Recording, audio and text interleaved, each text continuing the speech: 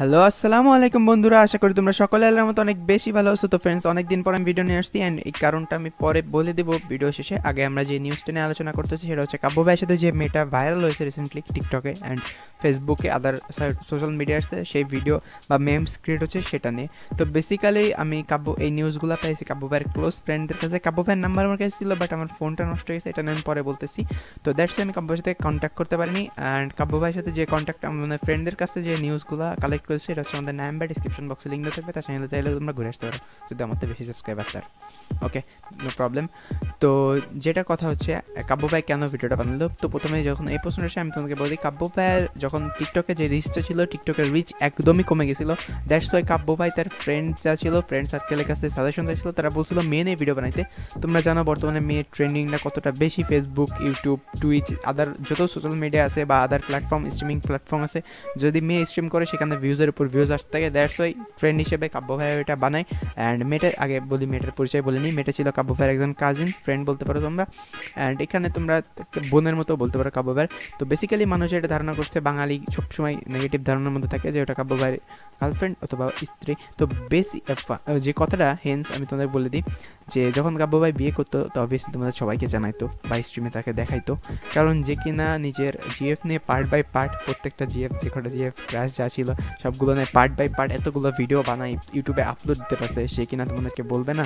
এই কথাটা অবভিয়াসলি বলতো অ্যান্ড কাব্য ভাই বিয়ের সময় ভাববে কিন্তু যাই হোক just kidding I don't know ভিডিওটা কাব্য ভাই দেখবে না, আমি যতদূর জানি দেখবে না, জীবনও পোষাবে না কাব্য ভাইয়ের কাছে।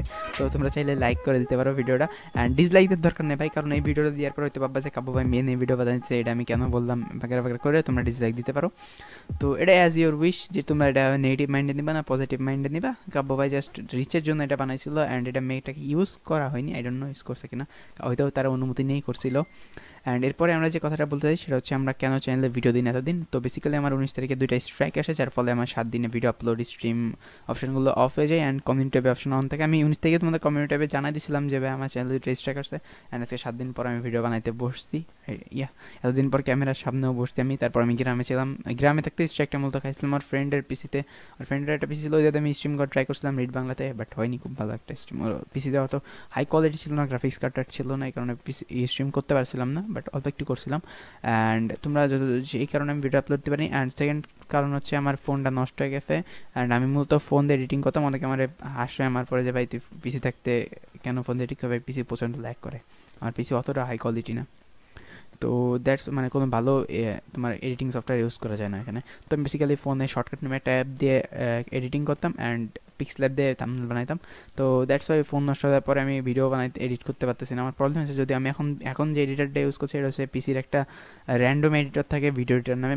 তুমি পিসিতে মাইক্রো তোমার অফিস বাটনে বা আদারওয়াইজ তোমরা উইন্ডোজ বাটনে যে সার্চ করলে পেয়ে যাবে এই বাটনটা তো এইটার মাধ্যমে আমি এডিট করতেছিলাম এডিট করতেছি আর কি এই ভিডিওটা অ্যান্ড তারপরে যে কারণটা, সেটা হচ্ছে স্ট্রাইক তো বললাম। And that's why net problem এখানে প্রচণ্ড নেট প্রবলেম দ্যাটস ওয়াই আমি ভিডিও আপলোড দিতে পারছি না। অ্যান্ড আমি নতুন চ্যানেলে কিছু নতুন করে ট্রাই করতেছি। তোমরা চ্যানেল ডিসক্রিপশন বক্সে সবগুলো চ্যানেল ঘুরে আসতে পারো। এখানে আদার সাইটে করতে পারতেছি।